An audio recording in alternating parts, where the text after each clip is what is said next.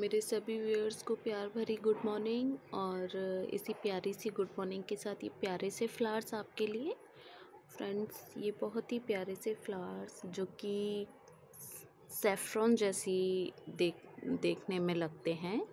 मैं आपको इसका नेम बता देती हूँ। बहुत ही इंटरेस्टिंग सा नेम है इस प्लांट का। फ्रेंड्स, ये है हमारे पास आज बेगम बहार। इसका जैसा नाम है, वैसे ही इस, ये प्लांट है, बेगम बहार, ये सदा बहार है और हमेशा ये फ्लावरिंग करता है। तो फ्रेंड्स ये प्लांट मैं काफ़ी टाइम से सर्च कर रही थी और ये मुझे मिल गया। फाइनली तो मुझे लगा आपके साथ शेयर कर लूँ। इस पर काफ़ी सारी वीडियोस मैंने देखी जो हमारे सीनियर्स हमारे लोग बनाते हैं। तो मुझे बहुत ही प्यारा लगा ये और उस टाइम से मैं अभी तक इसे ढूंढ ही रही थी, नर्सरी वाले भैया के पास ये नहीं होता था। बट लास्ट टाइम जब मैंने विज़िट किया वहाँ पर तो मुझे दिख गया तो रहा नहीं गया इसे लिए बना, क्योंकि ये बहुत ही ब्यूटीफुल सा दिखने वाला प्लांट है और फ्रेंड्स इसकी ग्रोथ भी काफ़ी अच्छी हो जाती है। थ्री दो ढाई फीट का तो ये आराम से हो जाता है अगर ये आपका डायरेक्ट ज़मीन में लगा हो।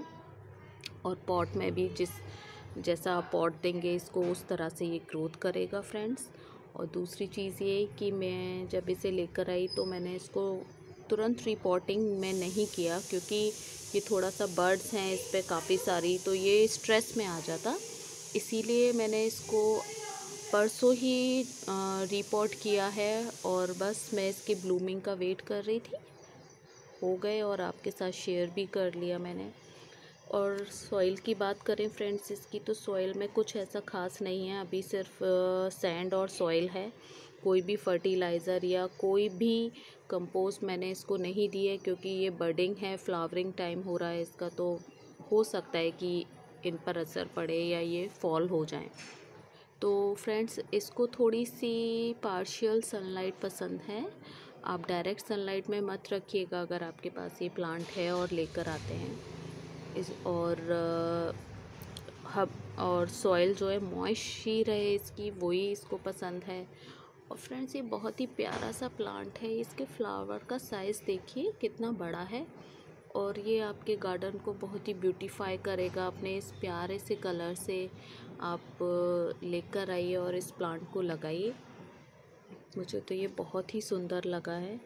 तो रहा नहीं गया आप लोगों के साथ शेयर करे बिना। तो फ्रेंड्स और तो इस प्लांट के बारे में बस यही है कि ये सदाबहार का प्लांट है। मुझे, उन्होंने ये बताया नर्सरी वाले भैया ने। कि इसे डायरेक्ट सनलाइट में मत रखिएगा। ये देखिए, इसकी न्यू शूट्स भी स्टार्ट हो गई हैं। और बर्ड का तो फ्रेंड्स क्या है कि बर्ड के ऊपर से ये कवर क्रैक होके हटता है। और ये प्यारी सी हेयरी सी बर्ड इसमें से निकलती है। और फिर ये फ्लावर बन जाता है, बिल्कुल सेफ्रॉन जैसा। ये देखिए। तो होपफुली आपको ये प्यारा सा प्लांट पसंद आया होगा। इसके फ्लावर का जो कलर है फ्रेंड्स वो भी बड़ा सा मतलब शेड में हो रहा है। कभी पर्पल लगता है, कभी पिंक पर्पल लगता है। तो ये बहुत ही सुंदर सा इसका कलर है। और होपफुली आपको ये पसंद आया होगा प्यारा सा प्लांट जो कि मैं अभी थोड़े दिन पहले ही लेकर आई हूँ। और मैंने अभी इसको कोई भी फर्टिलाइज़र कुछ नहीं दिया है सिंपली ये ग्रो कर रहा है, जैसा था वैसा ही है। इसमें जो बर्ड्स हैं वो वैसे ही हैं। जब ये बर्ड सारी ब्लूम हो जाएँगी, उसके बाद मैं इसको थोड़ा सा इसकी कटिंग करूँगी, जिससे कि ये और भी हेल्दी ग्रो हो।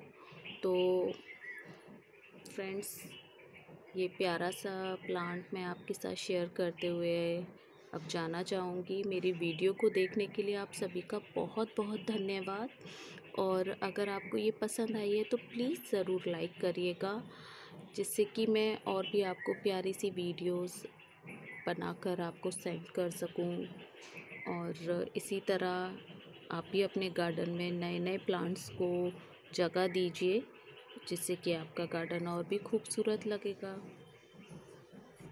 ठीक है फ्रेंड्स, बाय।